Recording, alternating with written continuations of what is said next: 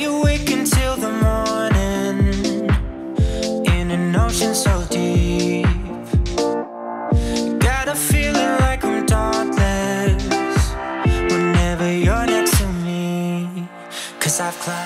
สวัสดีคุณผู้ชมนะครับ อยู่ผมคิวเตมีครับ วันนี้รีวิวกันอีกกับอีกหนึ่งตัวที่หลายคนให้ความสนใจมากเลยกับ Galaxy A 50นั่นเองนะครับ ซึ่งเป็นการกลับมาของตระกูล A แล้วบอกเลยว่าคราวนี้ซัมซุงเขาก็สู้ตายนะฮะ จัดสเปคมาจัดเต็มจริงๆสำหรับราคาแค่ 10,000 ต้นๆนนะครับ เจ้า A 50ตัวนี้เด็ดขนาดไหนไปชมรีวิวกันเลยดีไซน์ตัวเครื่องสวยมากเลยนะครับ มองปุ๊บก็จะรู้เลยว่าเป็นซัมซุงนะครับ แล้วก็ ด้านหลังเนี่ยอาจจะดูเหมือนกระจกแต่จริงๆแล้วเป็น material พลาสติกนะครับ แต่ว่าซัมซุงทำมาได้ดีมากจริงนะฮะ มีการพูดไม่ถูกมันจะออกมีความรุ้งๆมีความเบลอๆอยู่นะครับ แต่ว่าดูโดยรวมแล้วสวยมาก ถ้าไปดูสีดำจะเห็นชัดกว่านี้นะครับ แล้วก็สีขาวด้วยจะเห็นความรุ้งชัดมาก จากการใช้งานต้องบอกว่าเป็นสมาร์ทโฟนที่ถือแล้วรู้สึกดีนะครับ แถมน้ำหนักก็เบาด้วย อันนี้ก็เรียกว่าสบายมือ ส่วนเรื่องของรอยนิ้วมือนะครับ ก็สามารถใช้เคสใสแบบนิ่มครับที่แถมเข้ามาในกล่องให้เราเนี่ยแก้ปัญหาตรงนี้ได้ อันนี้ก็ดีงามครับยังมีที่เสียบหูฟัง 3.5มิลลิเมตรอยู่และใช้ USB Type C ด้วย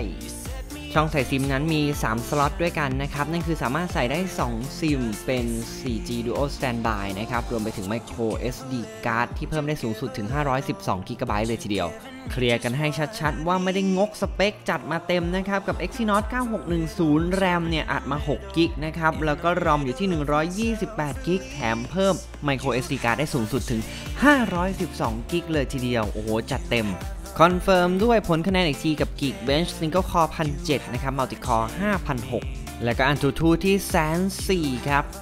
เกม PUBG นั้นนะครับ ค่า default เนี่ยอยู่ที่ HD นะครับ แล้วก็ High ก็ถือว่าค่อนข้างสูงแล้วทีเดียว แต่สามารถปรับสูงสุดได้ที่ HDR แล้วก็ Ultra ด้วยแต่ในนี้เราเล่นตามค่าเริ่มต้นล้วกันนะครับ บอกเลยว่าลื่นไม่มีแหลกเลยนะครับ ก็เพราะฉะนั้นใครที่เป็นเกมเมอร์ก็รับรองว่าตัวนี้ A50 ก็จะตอบโจทย์ในการเล่นเกมด้วยครับ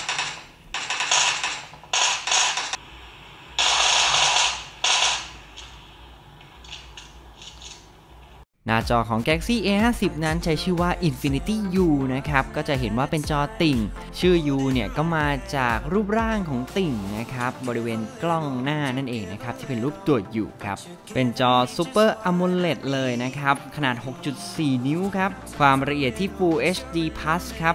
1080 อัตราส่วนที่ 19.5 ต่อ 9 จากการใช้งานก็ต้องบอกว่าเป็นจอที่เยี่ยมนะครับ โอ้โห สีสันนี่สดใส คอนทราสต์ดี คมชัด แล้วก็สว่างจริงๆนะครับ ใช้งานกลางแจ้งก็ไม่มีปัญหาด้วย ถือว่าเป็นอีกหนึ่งจอที่ให้มาค่อนข้างไม่งกสเปคเลย ลองดู Netflix นั้นก็ไม่ได้รองรับ HDR นะครับ ส่วน YouTube เองก็ไม่รองรับ HDR เช่นเดียวกันสำหรับ Galaxy A50 นะครับ แต่จากการใช้งานผมก็ไม่พบอะไรที่น่าหงุดหงิดใจนะครับ เพราะเนื่องจากจอเนี่ยชัดมากอยู่แล้วที่ Full HD Plus นะครับ แล้วก็แน่นอน Super AMOLED ของ Samsung ก็อย่างที่เรารู้กันคุณภาพดีอยู่แล้วนะฮะ แล้วก็เป็นจอติ่ง Infinity U นะครับ ก็ต้องบอกว่าไม่ได้รบกวนสายตาอะไรขนาดนั้นในการรับชม ก็ถือว่ากินพื้นที่หน้าจอน้อยสุดๆละ ลำโพงหนึ่งตัวขวาล่างนะครับ ซึ่งเสียงดังดีเลยทีเดียวนะครับ ใครที่ชอบฟังเพลงก็น่าจะชื่นชอบสำหรับระบบเสียงของเจ้า A50 ครับ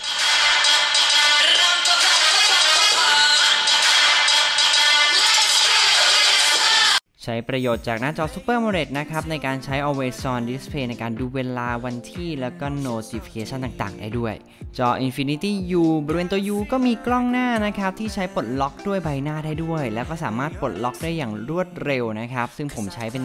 หลักจริง ๆ แต่อย่าลืมว่าความปลอดภัยก็ต่ำกว่าการสแกนนิ้วนะครับที่ปลอดภัยกว่าคือการสแกนนิ้วใต้หน้าจอนั่นเองนะครับ การเซตอัพก็ไม่ยากเท่าไหร่ ส่วนการสแกนก็มีความแม่นยำดีนะครับ แต่อาจจะไม่รวดเร็วเท่ากับหลาย ๆ แบรนด์ที่เคยใช้มา แต่ก็ถือว่าไม่เร็วนะครับ การสแกนก็คือใช้นิ้วจิ้มค้างไว้นะครับ ก็จะเป็นการสแกนที่ดีที่สุด การสแกนแล้วก็ยกนิ้วเร็ว ๆ อาจจะไม่ค่อยติดสักเท่าไหร่ครับ ต่อเนื่องกันเลยกับกล้องหน้าด้วยนะครับ ที่ความละเอียด 25 ล้านพิกเซล f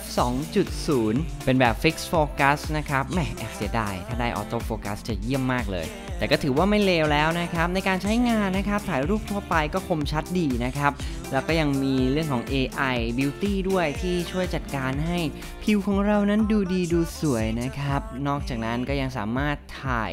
portrait mode ได้ด้วยนะครับ ก็คือหน้าชัดหลังเบลอ แล้วก็สามารถปรับความเบลอได้ทั้งก่อนแล้วก็หลังถ่ายนะครับ แถมยังสามารถปรับไฟโบเก้ข้างหลังนะครับ ให้เป็นรูปหัวใจ รูปดาว รูปดอกไม้ และรูปอื่นๆ ได้เยอะแยะเลยครับนี่ก็เป็นอีกหนึ่งฟีเจอร์เจ๋งๆ ที่ผมว่าหลายคนน่าจะชอบ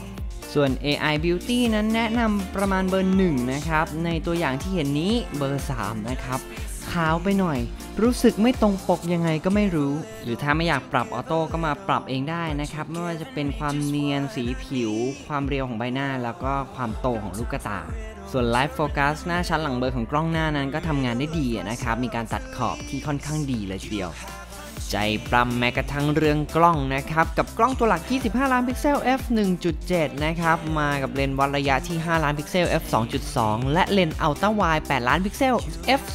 2.2 ครับแถมยังมี AI Scene Optimizer นะครับ ก็คือจับซีนให้อัตโนมัติ แล้วก็ปรับภาพออกมาให้สวยดังใจเลยนะครับ ไม่ว่าจะเป็นต้นไม้นะครับ หรือว่าอาหารหมาแมวโอ้ยต่างๆ มันก็คอยจับให้นะครับ แล้วก็จะปรับโทนสี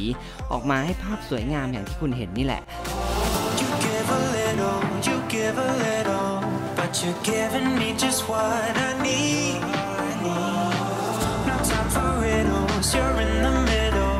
in the middle of myself. จุดที่ต้องไฮไลท์ก็คือเขาให้เลนส์มุมกว้างนะครับ เอาต้องวายมาด้วย ซึ่ง ทำให้เราถ่ายภาพได้เรียกว่าเปลี่ยนอารมณ์ได้อีกอารมณ์หนึ่งนะครับ ในการเก็บภาพสถานที่ต่างๆได้กว้างขึ้น ได้ครอบคลุมขึ้นนั่นเองนะครับ แล้วก็ทำออกมาได้ค่อนข้างใช้ได้ครับ อาจจะมี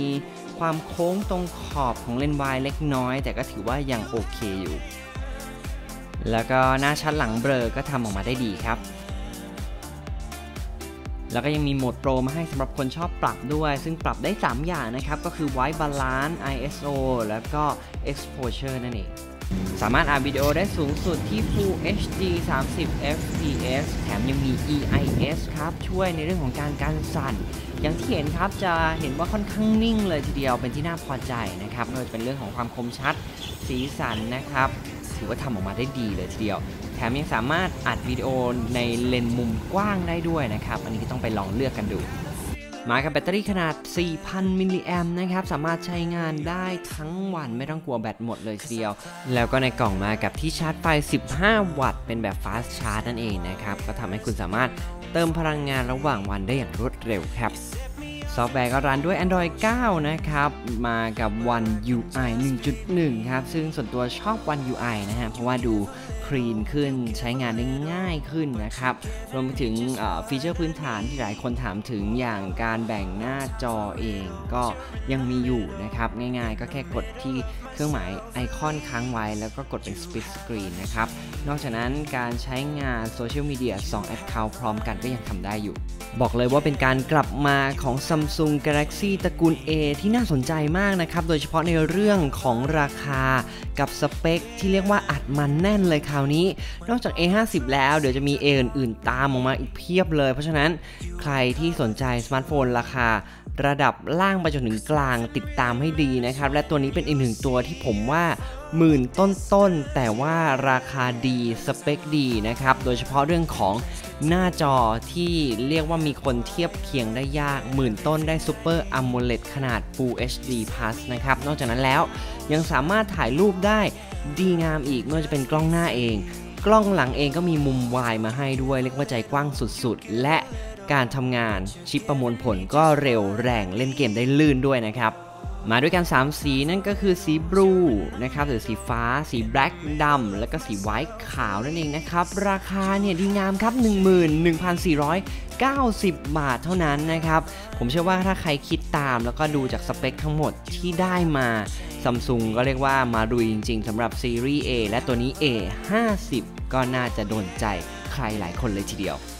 ากกดไลค์กด Subscribe ด้วยนะครับ อย่าลืมกดกระดิ่งข้างปุ่ม Subscribe แล้วก็มีความรู้ความคิดเห็นอะไรแลกเปลี่ยนกันได้เลย สังคมของการแลกเปลี่ยนในคอมเมนต์ด้านล่างนะครับ แล้วก็เดี๋ยวติดตามกันคลิปต่อไปจะมากับตัวอะไรที่น่าสนใจกับผมคิวเตมีนะครับ ขอตัวลาคุณผู้ชมไปก่อนมีความสุขมากๆไปแล้ว สวัสดีครับ